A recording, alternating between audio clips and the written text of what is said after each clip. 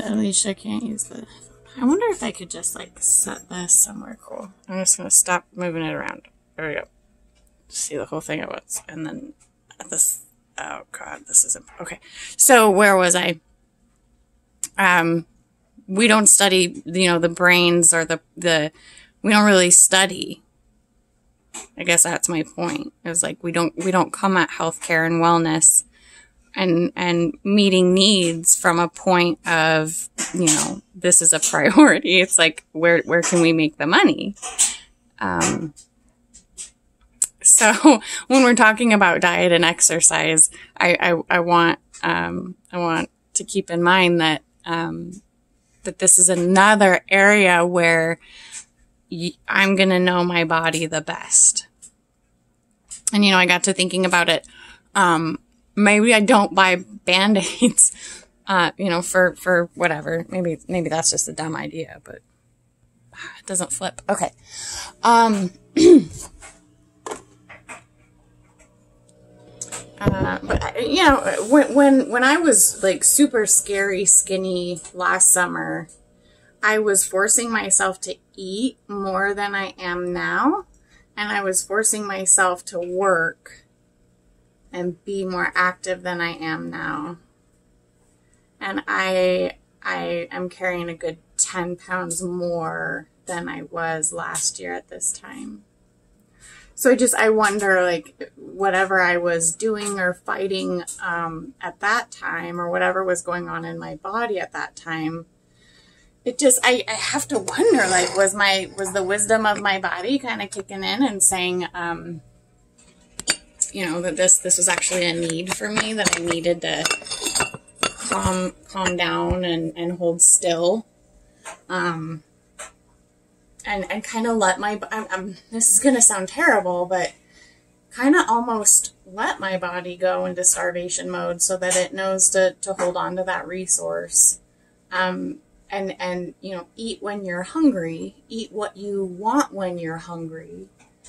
Um, but I, I do I, I find that the more that I force feed, um, that it's almost like my body will reject it. There was a lot of diarrhea, a lot of vomiting, um, and then it got to the point where I'm having um, what the doctors swore up and down was an allergic response.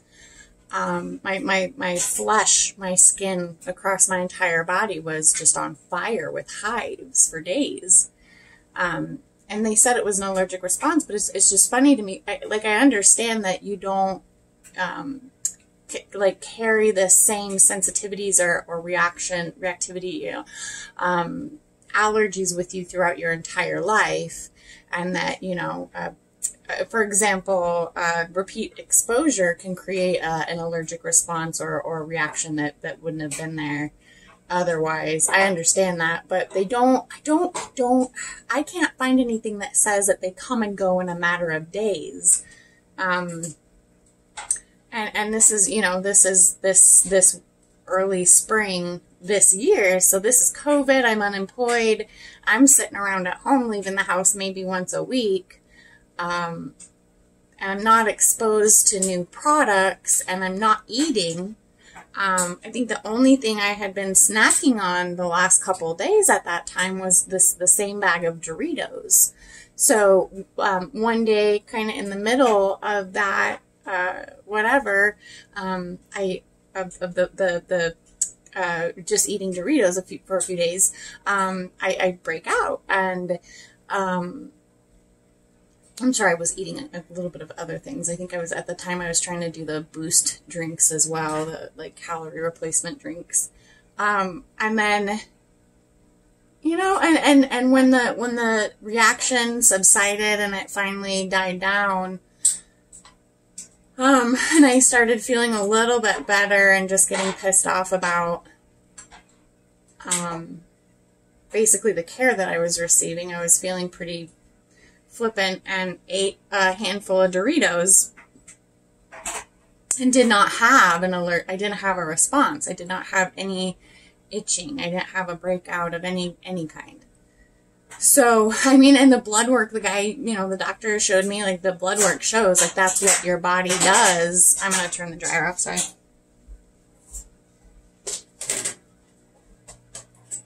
That's what the body that's what a healthy body does when it's having an allergic response. So this is actually encouraging you know to see that your your body's reacting appropriately.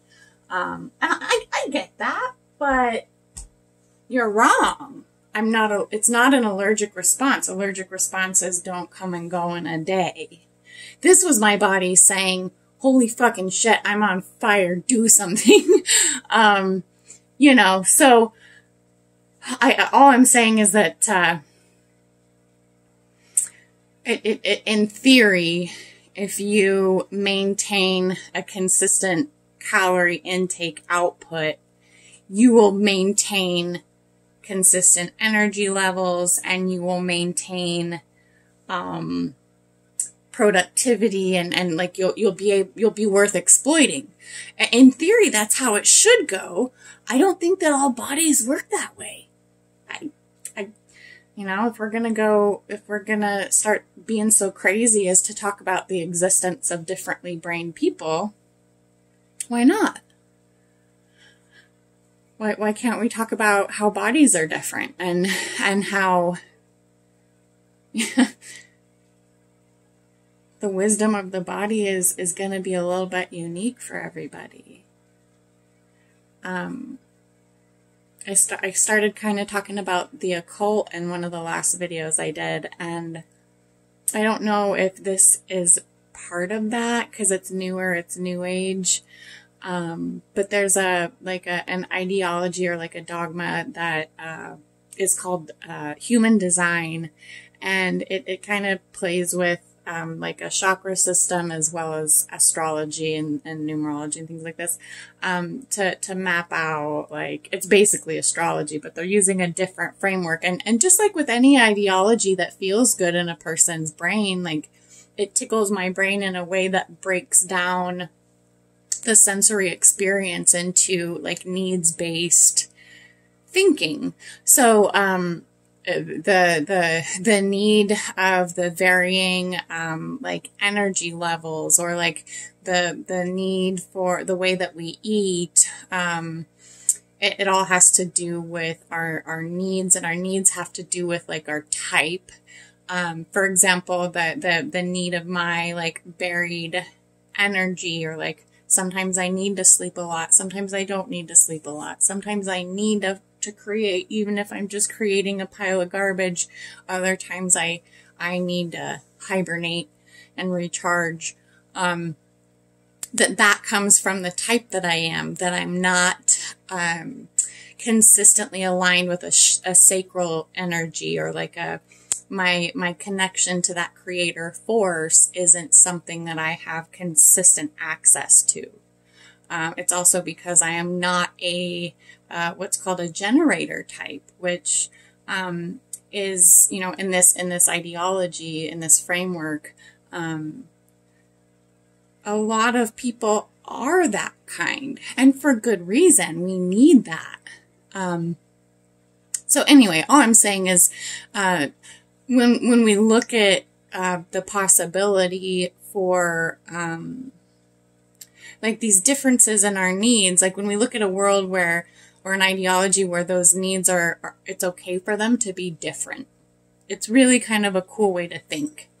Um, and like, I'm not gonna, I'm not gonna base like big decisions on what somebody I paid to look at my chart said about me. Like, you know, like that's not, that's spiritual bypassing and I'm not interested. And, you know, human design is definitely a massive money pit that you can, you can just stand at for as long as you want and just throw your money in, um, like anything else. Uh, but, but I do like the framework as far as it, it comes from a, a needs based, uh, solution, I guess, you know, they address, you know, how the types, um, interact with the, the world and how they base, you know, decision making and, and things like that on responses in their bodies and their energy.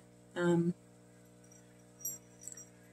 so I kind of started thinking about this mostly because I've been wanting to establish more movement in my day and I, I just kind of spontaneously spontaneously stopped what I was doing earlier and just had to go through um, is the word vinyasa. I had to go through a couple sets of of just you know like bending, you know, in yoga, uh, bending forward, uh, really like you know working my shoulders upside down and loosening up, you know, downward dog, getting getting through the the chaturanga, you know.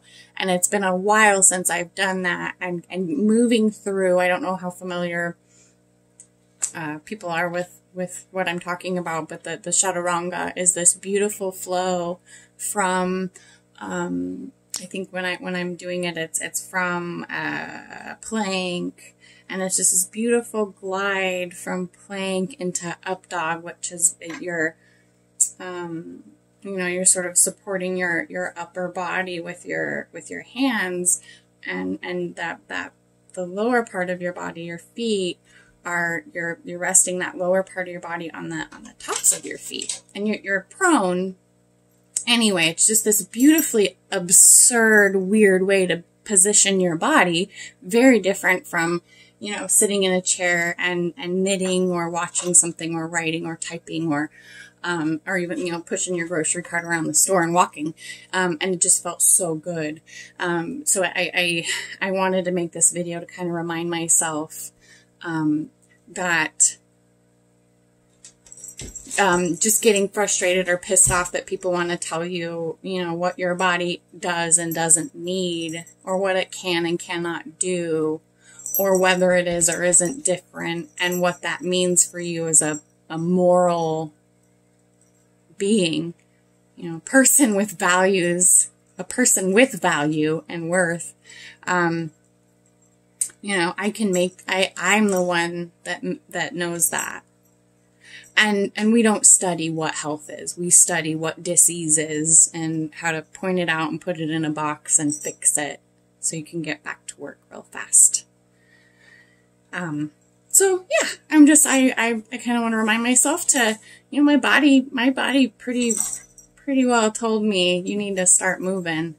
Um, and the last time it, it said that to me i ran uh like nine miles the first week i started running and couldn't move for like a month after that and I came down with a cold and like, you know, I coming down with a cold and feeling like that when COVID's blowing around the community didn't, you know, that was not a nice experience. So let's not repeat that self, future self. Let's, uh, let's take it easy and just flow through some yoga. Um, just so that feels good. Maybe I'll go for a jog early, early, early before all the tourists are out. Why is this Cory Dory having a twitch fit? Interesting. All right. Oh, I want to tell you about all my plants. So I think this uh, oh gosh, it's sort of a mess. I can't really tell what you're looking at. So part of this where the, yes, thank you. Um, there's a, a grass, what's left of a grass, and then there's like a, a an umbilical cord sticking out of the base of the grass going into another grass. Baby pup, cannot see it. Kind of see it. And I think that one's going to survive, but I don't know about the parent plant. Uh, and then this one I think is a surviving little piece of a temple plant. Let's see how that does. And then that ugly lump behind the temple, the maybe temple plant is a lotus bulb. And it had a little pup coming off of it, but I haven't seen it. And the pink stems are a, a scarlet temple. And they look pretty shaggy right now. A lot of these plants are grown um, in a way that's called immersed.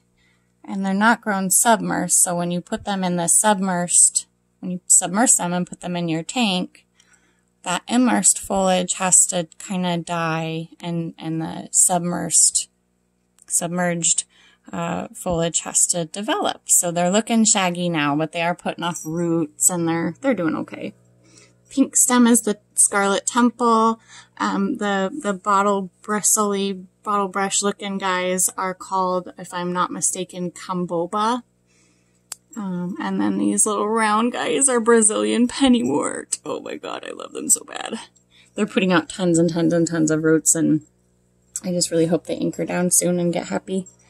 And then this like leafy longai with the curly top um, is a kind of Java fern that um, has that curly little bit. And the Java ferns are cool. Where's another one? So the one kind of behind this this leaf, this uh, penny pennywort leaf, this other green one, he's looking pretty sad. He's got copper burns. But um, the, the Java ferns will propagate by spitting out little little pups off their leaves and you'll start seeing root growth. Um, a lot of these pups um, were just floating around and when I put the spiderwood in, they got caught in the spiderwood and I really like the way they arranged themselves in the spiderwood. What else? More Scarlet Temple. There's a water sprite in the back and there's a dwarf hairgrass. My Monte Carlo is not happy. This is an Anubis, Anubias. I can't remember if there's an I in there, but it's a Nana. It's a, a dwarf version. It's a very slow growing, that big, broad, glossy leaf. Um, beautiful plant. I'm so happy that the the Otos spent some time and, and got all the algae off of his leaves. He looks so much better. The water sprite is fun. I'll have to do some more footage tomorrow when I clean it. I think I'm going to suck some water out and uh, rearrange a little bit. The Cories do this, they, they get into a mood and they get spastic and they'll try to zoom back and forth across the front of the tank and they bang into the spider wood. So I'm going to tuck it back in the corner a little better so they can't bang into it.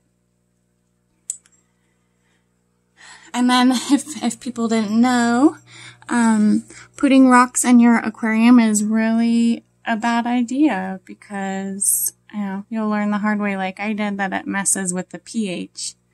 So you have to be careful about what you put in. But quartz crystal, this is um, the amethyst. I've got two pieces. As I come across it, I'm just going to start collecting it. This is going to be my amethyst bush. and uh, so the, the, the, quartz crystals are um, inert. So are the jaspers and the um, a lot of the agates. Something that's not inert is something that's gonna um, take place uh, or is gonna uh, be involved in, in a, a, sort of gas mineral exchange, and it's gonna mess with the pH of your of your habitat. And it, it really take it from me, it, it it goes south, it goes bad fast. So all those like calcite, dolomite, river rocks that you're emotionally attached to don't put them in your fish tank. Your, your Corydoras will not appreciate it. Okay. Goodbye.